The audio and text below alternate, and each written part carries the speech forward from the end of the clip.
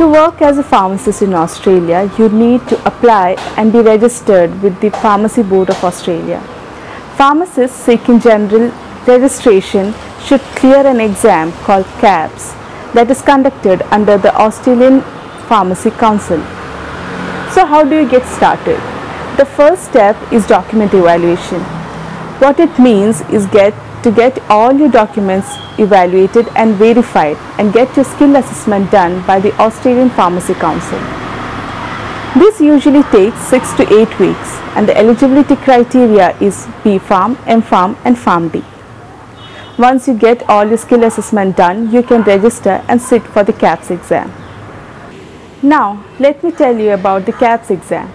KAPS is Knowledge Assessment of Pharmaceutical Science.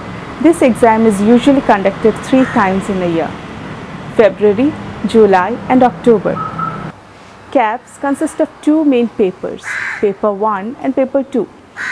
Paper 1 has pharmacology and pharmaceutical chemistry. Paper 2 has therapeutics and pharmaceutics. Each paper has 100 multiple choice questions and you need to score a minimum of 50% in each subject.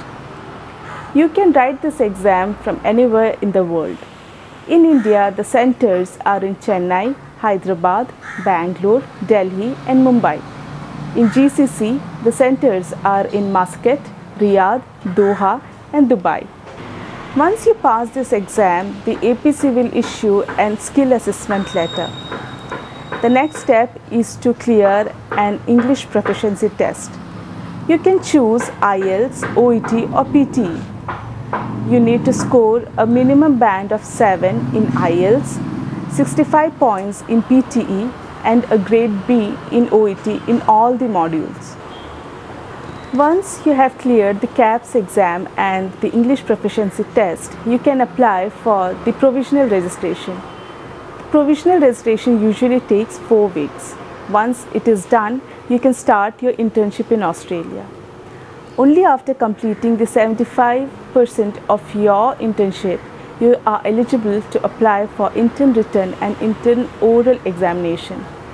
Once you have successfully completed your intern written and intern oral examination, you can apply for the general registration and you can start working as a pharmacist in Australia.